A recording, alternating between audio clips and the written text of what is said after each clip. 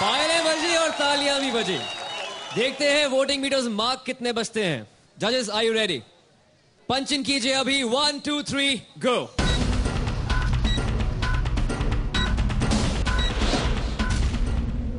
eight eight eight and eight आठ का चौका लग गया है। और ये है कंजूसी वाले मार्क्स अभी। जजेस एवरेज ऑब्वियसली बनता है एट ये कंजूसी के मार्क्स नहीं है।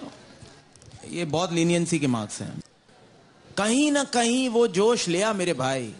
अमय प्लीज़ तुम्हें बुरा लगता है बुरा लगे लेकिन यार तू कर। तू बहुत टैलेंटेड आदमी है।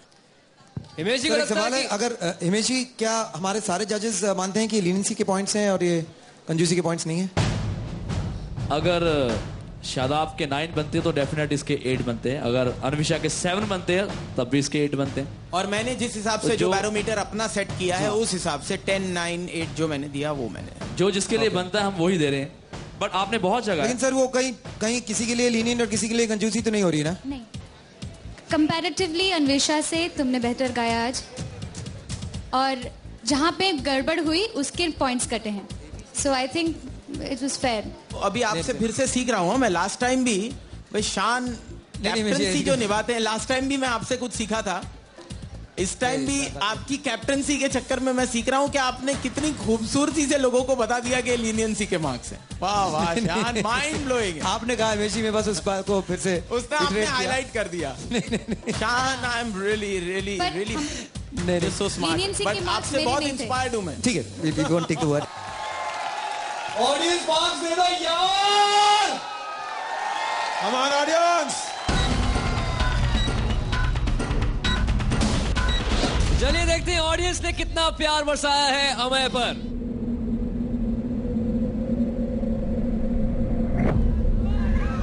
एट और टोटल बनता है सिक्सटीन और ये मुकाबला जाता है मोहित फाइटर्स की तरफ़। थैंक यू कंग्रेचुलेशन अवैस मुकाबला हिट पे हिट तक के टोटल स्कोर्स कितने हैं पहले देखते हैं मोहित फाइटर्स का टोटल स्कोर 32 और शान स्ट्राइकर्स अभी है। 33 पर। यानी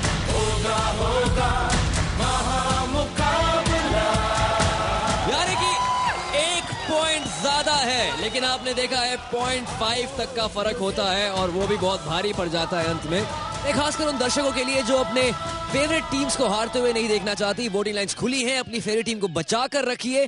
आज रात नौ बजे से लेकर कल रात आठ बजे तक। और वोटिंग डिटेल्स आपकी स्क्रीन पर आपके सामने है। गो फॉर इट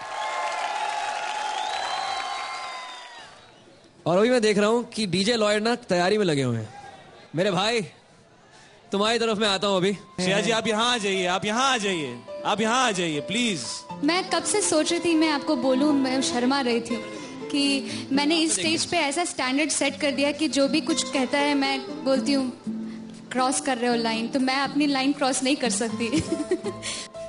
और अब चलते हैं इस शख्स की तरफ़ जो यहाँ पर अपनी मशीन में घुमा हुआ है। DJ Lloyd guys